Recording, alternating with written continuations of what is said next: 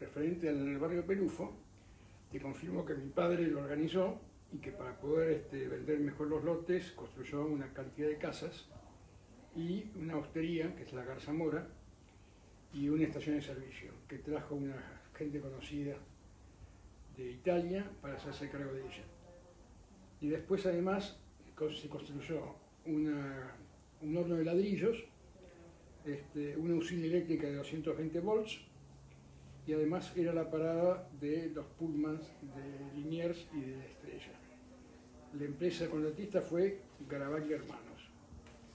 A su vez se daba atención de parques y jardines y hay que tener presente que este, la semisería Vicente Perufo y compañía, que es 1800 y pico, este, fue la que proveyó a Carlos Tais de todos los árboles que usó este hombre en sus este, organizaciones.